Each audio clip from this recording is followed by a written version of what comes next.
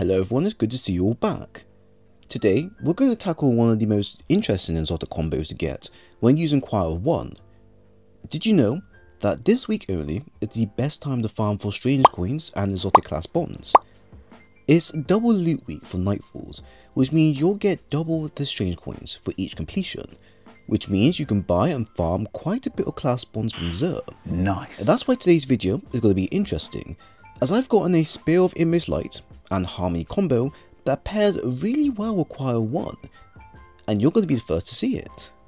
Start with the general aim and exotic of the build, our aim is to showcase the exotic combo we have currently and explain why these combos pair well with Choir 1. We also need to explain why this build is worth the investment. For this, we will be using Solipsism and Choir of 1.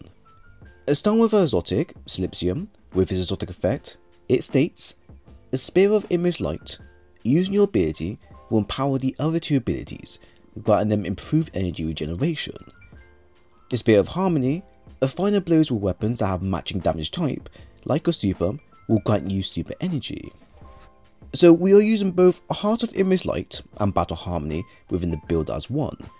While it's not the full version of the original copy, they both still operate under the same way. Hoil works as intended and will reduce our ability cooldown, since we have Feed the Void, a Facet of Hope, Balance, and our mods, uh, we will be able to maintain a high usage of abilities at all times. Harmony now will increase our super energy gain from kills made with our Void weapons. Uh, this is ideal for where the build is heading to, with the all ability cooldown aspect as presented. Uh, since we are locked into our Void super, which does have a high cooldown rate, it does benefit us a lot with how quickly we can use and abuse said super in game. Acquire 1 attacks are very powerful even without buffs applied to them, so for us to get our super up within 15 seconds isn't too far impossible. Our second exotic is of 1 with its exotic effect, Command Frame, which states, a fire's extended range, heavy caliber projectiles at a reduced rate of fire. It deals increased precision damage when aiming down sights. A very powerful secondary weapon to use, the following is a match made in heaven for any users who enjoy ARs and shotguns built into one. We mentioned the best way to improve the weapon is to apply more damage, which is true, but also the best way to use the weapon fully is simply lean into its usage even more than normal. Like shown, our void weapons will be granting us not only kills and buffs as we play, but our super regen is vastly increased without the need of mods or fragments to help. Something like this can be useful in content where you want to spam your super quite a bit, like Nightfalls or even PvP. I haven't added any extra perks for it this time, but if possible, any substance perk will actually pay fairly well with what we're currently running. For aspects and fragments, we have the following. Feed the Void, where getting an ability kill will grant you Devour. Helion, where casting your class ability will produce a solar mortar that scorches targets and also ignites them. A Facet of Sacrifice, where having a solar, void, or arc buff can grant you extra darkness transcendence energy from ability final blows. A Facet of Hope, where while having an elemental buff, your class ability will regenerate quickly. A Facet of Dominance, where your void grenades weaken targets, where your arc grenades jolts them.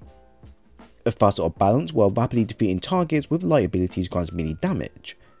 Rapidly defeating targets with dark abilities grants grenade damage. And Facet of Bravery, where defeating targets with grenades grants volatile rounds to void weapons.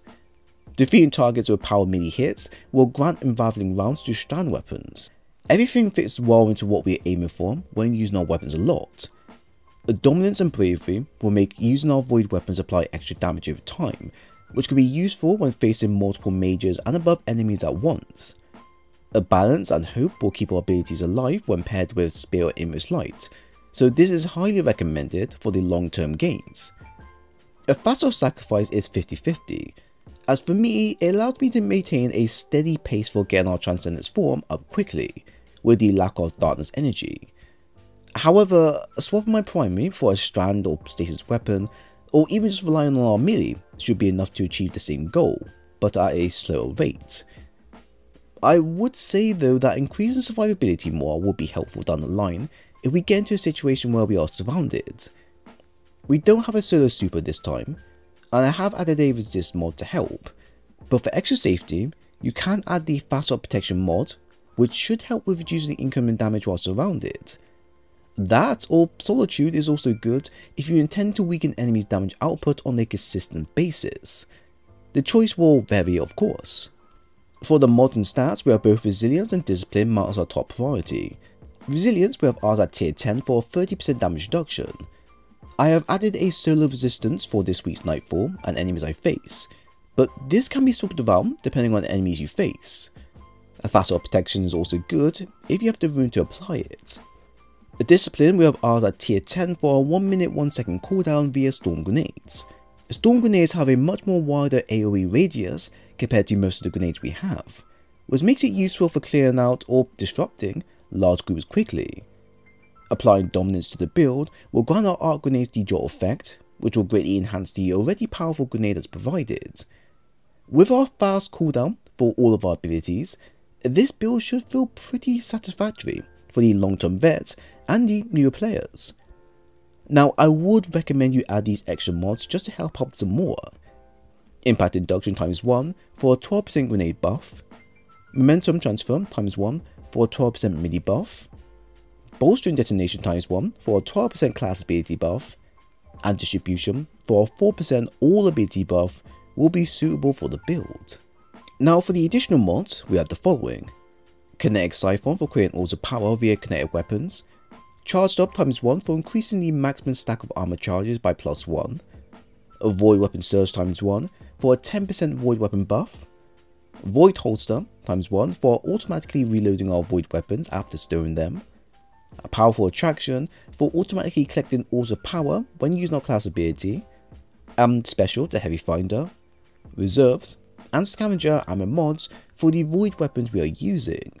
As we have covered our exotic secondary weapon, I would then advise you to pick some super weapons for the build as well. These are all optional, but do hold some benefits towards the build.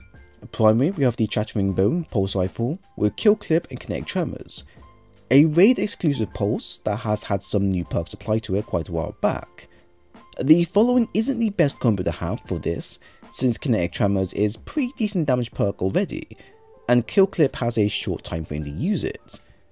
However, both can be quite useful if you're dealing with a mixture of enemies all at once. So if you are a free to play player, you'll probably won't be able to get this weapon just of yet.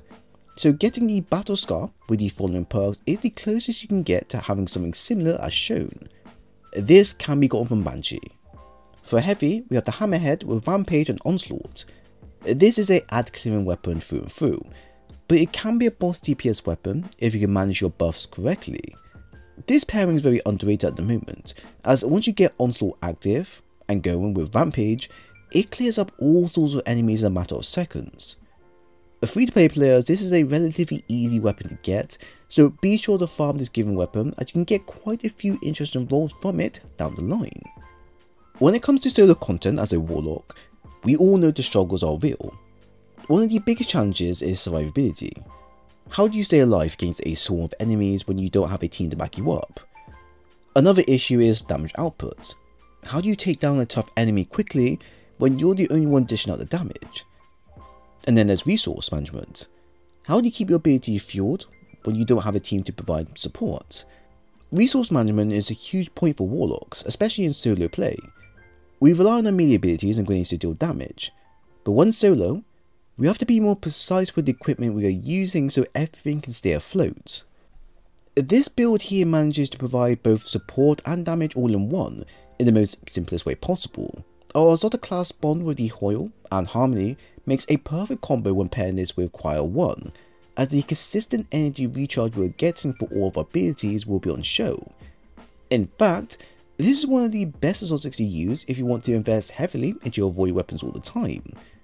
Well, for now, I guess. Its ease of use allows us to expand on mods and fragments to focus on the survivability of the setup, so we can survive solo endgame content without the need of allies around.